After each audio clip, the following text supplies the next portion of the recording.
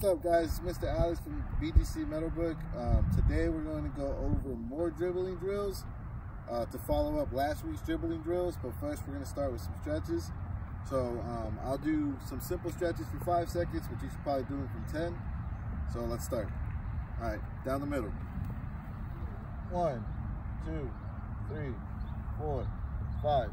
Spread your legs, down the middle again. One, two, three, four, five. To the left. One, two, three, four, five. To the right. One, two, three, four, five. Pull up a leg. One, two, three, four, five. Next leg. One, two, three, four, five. Arms. One, two, three, four, five. Other arm. One, two, three, four, five. Okay, so following last week's lesson, um, if you guys remember, we were learning how to dribble with both hands, left and right. So this time we're going to learn how to dribble with both balls in order to improve both hands. So what we're going to do is we're going to take turns of a two minute drill each of learning how to dribble these balls together. So what you're going to want to do is squat a little bit, right? Look forward.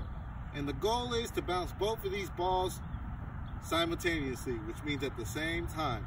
So it should look a little bit like this.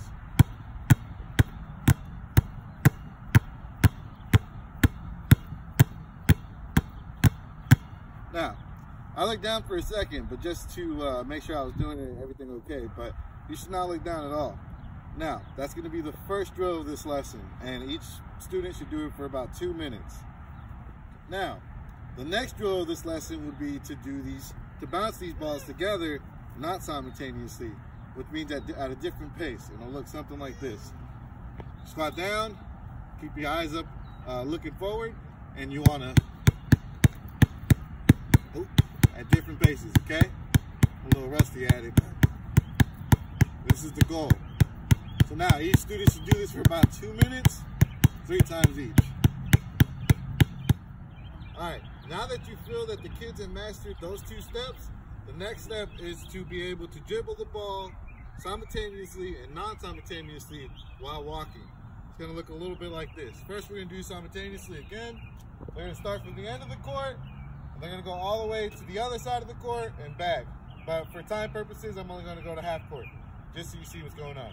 So, we're gonna have ball simultaneously. Goal is not to look down. Go all the way up. Come back.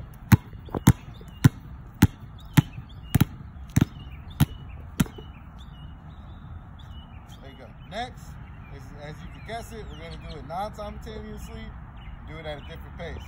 So, I think this one's a little bit more easy. So we're gonna walk up like this. See how the ball's moving at a different pace? And then back.